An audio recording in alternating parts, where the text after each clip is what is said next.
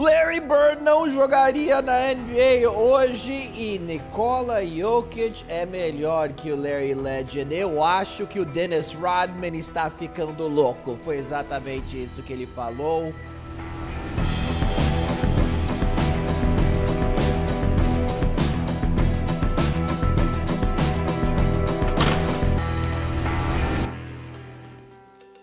É, vamos falar um pouquinho sobre isso, né? Porque isso daqui realmente é meio difícil de engolir, Dennis Rodman. Eu te falo, sei que você ainda tá desapontado com o Larry Bird depois de tudo que aconteceu nos playoffs de 1987.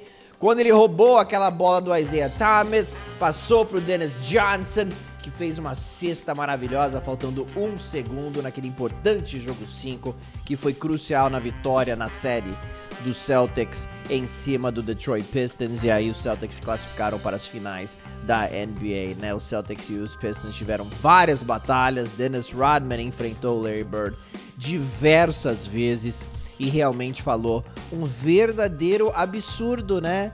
E o Isaiah, companheiro dele, já mencionado aqui, falou que não só o Larry Bird jogaria hoje na NBA, como ele venceria prêmios de MVP, né? É só olhar para o jogo do Nikola Jokic, que nas palavras do Isaiah Thomas é um pouquinho parecido com o jogo do Larry Bird, né? E se o Jokic venceu dois prêmios de MVP, certamente o Larry Bird venceria também.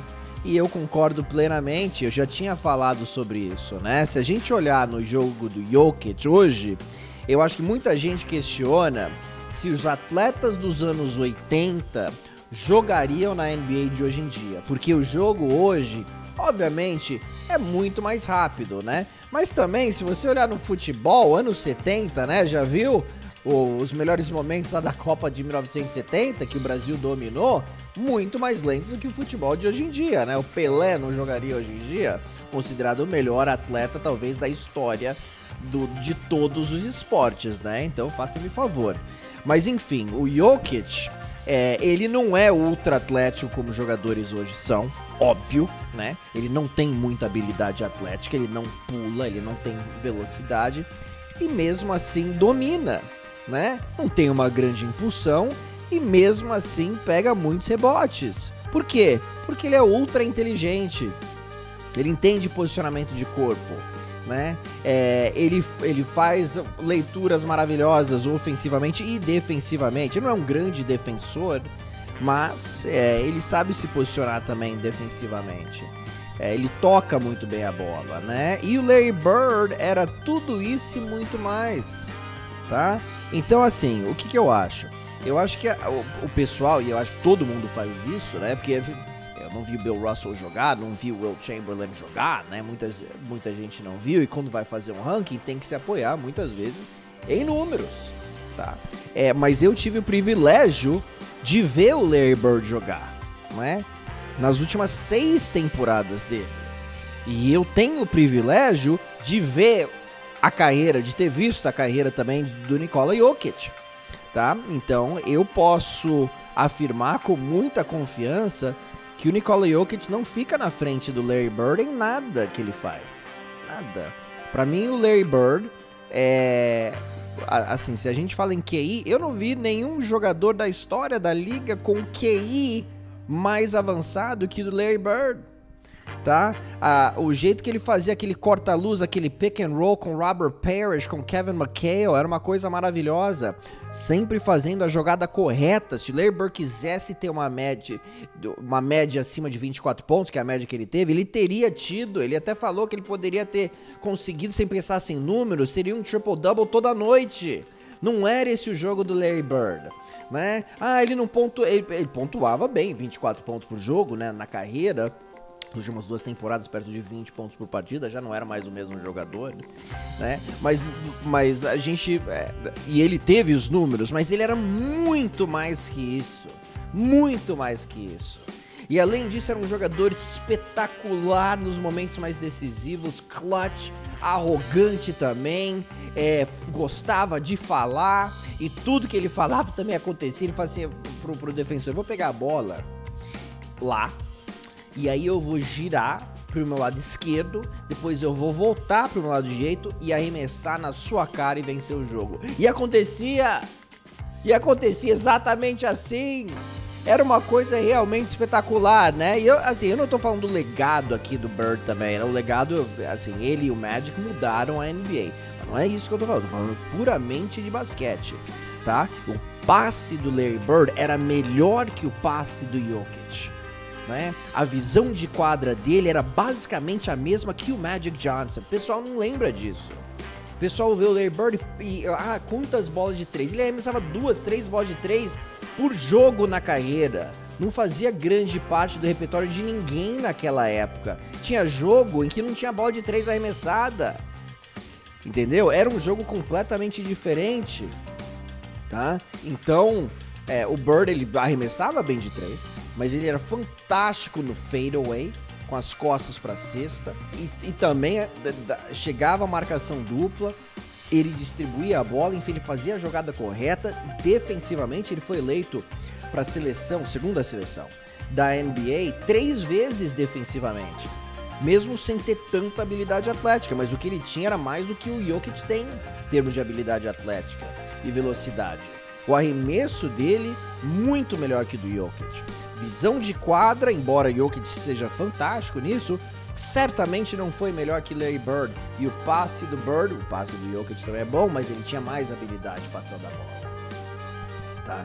Então, é falar que Jokic é melhor que Bird, esquece. E se a gente quiser olhar em números também, a gente pode olhar aqui também três prêmios seguidos de MVP para o Larry Bird, de 84 a 86. Nesse período ele foi para três finais, ganhou dois títulos. Jokic, dois seguidos, não conseguiu vencer esse ano, venceu um título. Né? É, foi eleito o MVP das finais da, da, da NBA. O Bird foi duas vezes agora. Tem 13 anos de Bird, 12, né? Porque ele se machucou numa temporada depois de seis jogos. Né? Então jogou basicamente 12 anos e jogou quebrado por uns 3 anos, né? Na reta final da carreira. Então, assim, quando o Larry Bird era o Larry Bird, era primeiro time All-NBA todo ano. Aconteceu nove vezes em sua carreira. Em oito temporadas na liga, Jokic foi eleito para a seleção, primeira seleção da NBA, três vezes. Tá? Enfim, dois fantásticos jogadores. É, defensivamente, Bird melhor que Jokic também. É, mas falar assim, Jokic melhor que Bird, baseado em o quê? Baseado em o quê, Dennis Rodman? Sinceramente. Eu acho que se você olhar no mundo da NBA, né?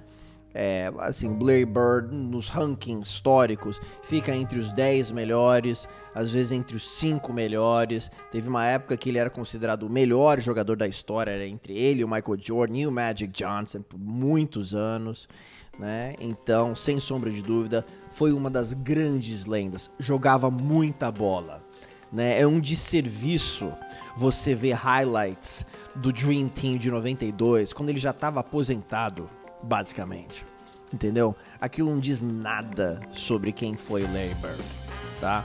É, e só olhar em highlights também, eu já vi muitos highlights aqui, é difícil você pegar uma compilação realmente 100% honesta, você tem que ver os jogos, né? O feeling do jogo que ele tinha, né? Jogo a jogo, vendo jogo a jogo, você nossa, era uma coisa realmente impressionante de ver, né? E aquele fogo que ele tinha, clutch, momentos decisivos, falava, não tava nem aí.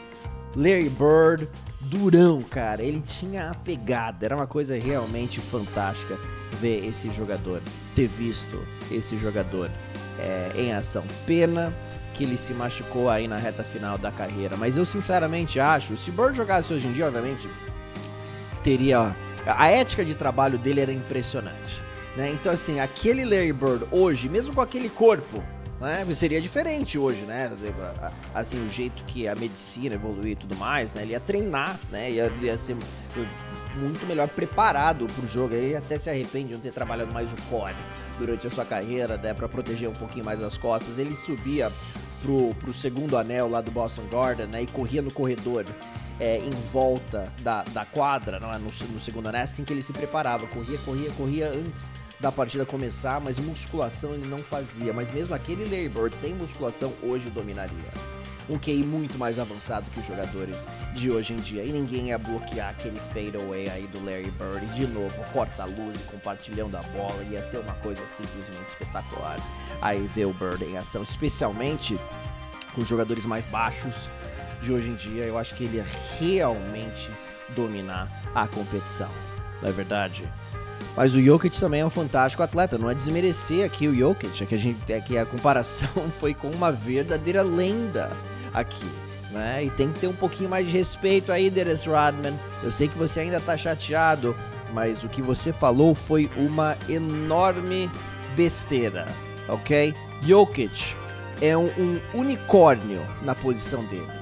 Se a gente olhar nos pivôs aí historicamente, é, ninguém fazia o que o Jokic faz hoje, de é, às vezes conduzir aí o fast break, né, o jeito que ele toca a bola, a, o repertório de poder arremessar de três, também pontuar perto da cesta, assim, ele faz mais, por não tô falando que ele é mais dominante ou melhor, tá? Mas ele tem um jogo muito diferente do por exemplo, o Shaquille O'Neal, né, que era um, Patrick Ewing, que eram pivôs um pouquinho mais tradicionais né? Então ele merece muito crédito, muito. E ele é um jogador que quando se aposentar vai estar na lista de alguns dos melhores, sem dúvida, da história da NBA.